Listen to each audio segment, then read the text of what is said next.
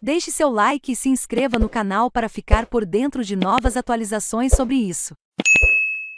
A deve abandonar marca FIFA após FIFA 23, segundo novos rumores. A EA deve abandonar a marca FIFA para sua série de futebol, após o lançamento de FIFA 23 no final do ano, e a conclusão da Copa do Mundo do Catar. Segundo novos rumores, a possibilidade da não renovação do contrato entre a EA e a FIFA já foi sugerida por executivos da própria EA, que parecem estar começando a preparar o terreno para o rompimento de uma parceria que já dura quase 30 anos. Em fevereiro, um executivo da EA afirmou que o nome FIFA está prejudicando a franquia, e que, fora dos anos de Copa do Mundo, a marca não traz nada mais que quatro letras na caixa, lembrando que, hoje em dia, os contratos de licenciamento são fechados com cada clube e federação diretamente, restando à FIFA apenas o licenciamento da marca Copa do Mundo da FIFA, aproveitada a cada quatro anos. Segundo o jornalista Jeff Group, do podcast Giante Bomb, a EA já tomou a decisão de abandonar a marca FIFA, após FIFA 23 e ao que tudo indica. A marca é Esportes Futebol Clube, ou é Esportes FC,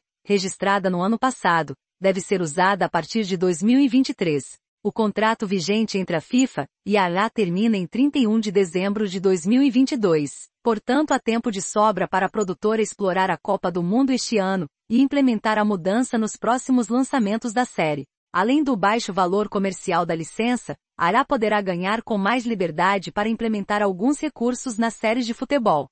Segundo boatos, a empresa quer ir além dos modos tradicionais 11 vs 11 e complementar o jogo com opções diferentes e mais envolventes para os jogadores entrarem e se divertirem. A exemplo do que fez com NHL 18, quando lançou a ideia do NHL 3, que fez sucesso com os fãs. O Porsche deve abandonar marca FIFA após FIFA 23. Segundo novos rumores apareceu primeiro em Outer Space,